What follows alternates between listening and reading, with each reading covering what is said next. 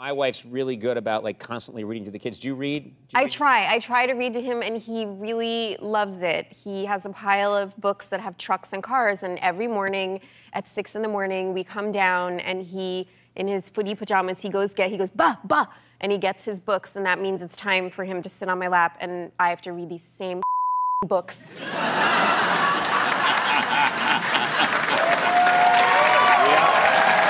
Yeah. It's honest to God, it's the same like five books. Yeah. Since every morning Yeah, at six every in the morning. And the books don't change. It's the same books. They're terrible. Who wrote these books? right.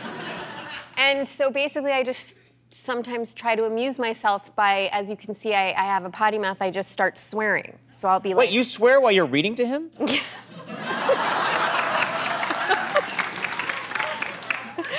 "Thank you." Yeah. They're validating what you're doing, but can you just give us a sample of This like I don't know? part of your book. yeah. How to bring up an asshole. yeah, but I don't understand. I'm curious. You have your beautiful 16-month-old son. The Cement mixer and digger are.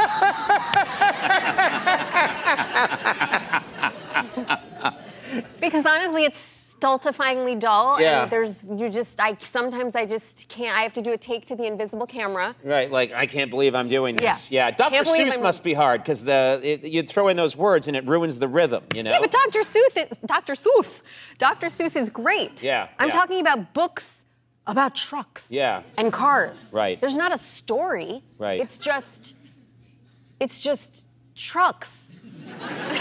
And you're losing your mind. You would, are you worried at all that you swear around your, your child? Your older, do, does your daughter ever pick up on this? One of your daughters? Well, we had an incident.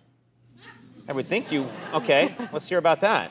Um, my well, I was always defending myself, thinking, well, they're too young. They're not. They don't really get it. They're not gonna. And I don't swear that much, right? And they're not gonna pick Well, it it sounds up. like you kind of do.